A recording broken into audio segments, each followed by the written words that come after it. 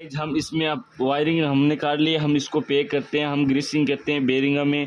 अगर ग्रीसिंग करोगे तो ये छतपंखा ना बेस्ट चलेगा, कोई शिकायत नहीं आएगी इसमें। दोनों बेरंगों में हमने ग्रीस कर दिया है। अब हम इसको पैक करते हैं।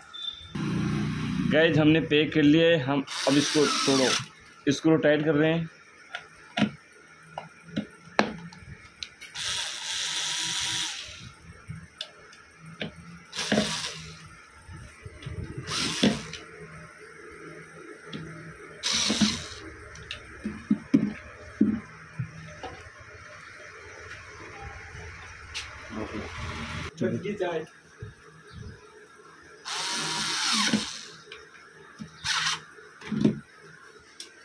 ये हमारा पंखा तैयार है, ये हमारा ये है ना, ये ब्लू कलर का तार है ना, ये कॉमन तार है, और ये है ना सेकंड कॉमन तार है। यानी ये हमारा मेन तार है और इस पर एक इस पर चलेगी, ठीक है ना? हमारी फ़ैन है ना, हमारा सेलिंग फ़ैन इस पर उल्टा चलेगा, ठीक है ना? ये हमारी वायरिंग कर चुकी है और ये ब्लैक ये ब्लैक तार, ये तीनों तार है, समझ गए ना?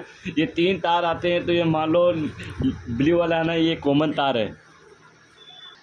वीडियो को लाइक एंड शेयर कर दो, आगे से आगे शेयर कर दो और वीडियो को सब्सक्राइब कर दो और बेल आइकन को दबा से फटाकर दाब दो।